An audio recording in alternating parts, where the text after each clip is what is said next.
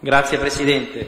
Ma, eh, semplicemente pochi minuti per eh, condividere con i colleghi senatori un po' quello che dicevamo ieri, cioè eh, ieri siamo passati da un momento di esultanza di felicità per quanto riguarda eh, la parte sugli ostelli della gioventù, eh, siamo passati da un, momento, peri- da un momento di esultanza a questa notte eh, incredulità, eravamo veramente basiti e senza parole. Ci siamo, ci siamo trovati eh, a dover assistere al giochetto, al balletto, prima sì, poi no, poi sì, poi no, è dentro, è fuori, è dentro, è fuori. E anche questa mattina sugli organi di informazione abbiamo, abbiamo notato che la questione eh, degli ostelli della gioventù è diventata quasi una questione politica, una questione di partito, una questione dove una parte del partito dice all'altra di sì, una parte del partito, intendo partito eh, di maggioranza all'interno della vostra maggioranza, dice sì, poi dice no, poi dice forse, inseriamola, non inseriamola.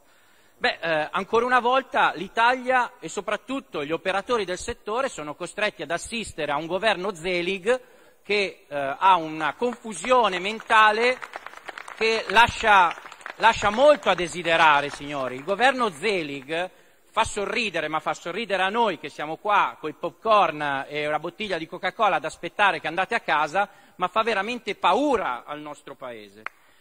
Il problema, colleghi, è che il governo Zelig non sa neanche di che cosa sta parlando quando parla di ostelli. Il problema grosso è questo, spiegatelo al al portavoce, fatevelo spiegare dal portavoce della, eh, del viceministro Castelli che cosa sono gli ostelli della gioventù, però visto e considerato che non avete, non avete tempo ve lo spieghiamo noi.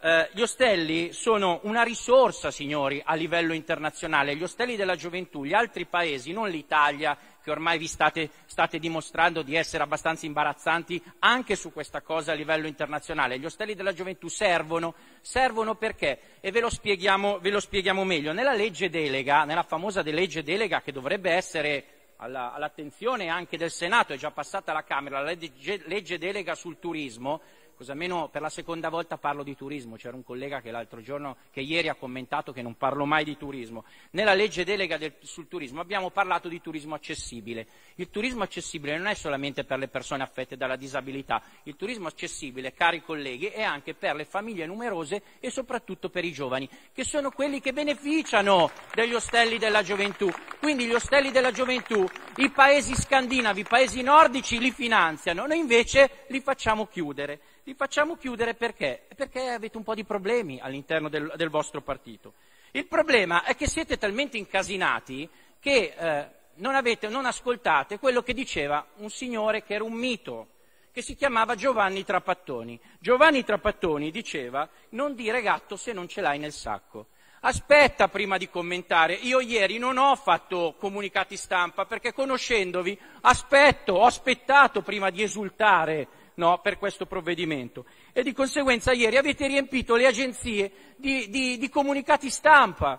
La senatrice Parente Italia Viva esprime soddisfazione per la soluzione positiva, grande, bello, forse, forse hai una riga su qualche giornale. Il senatore Lanzi afferma che hanno portato l'infa al turismo giovanile, dal governo toni trionfalistici per aver risolto il problema. E adesso che lo togliete? E adesso che lo togliete, fate il comunicato stampa per chiedere scusa agli italiani o fate finta di niente? Anche oggi, cari colleghi, e termino, anche oggi avete dimostrato all'Italia che i problemi interni al Movimento 5 Stelle stanno bloccando il Paese. Signori, gli ostelli della gioventù vanno oltre ai problemi del Movimento 5 Stelle. Gli ostelli della gioventù sono una cosa seria, cosa che non è il Movimento 5 Stelle. E quindi state facendo fallire il Paese, cari colleghi, dal turismo all'industria siderurgica, dagli ostelli all'Ilva.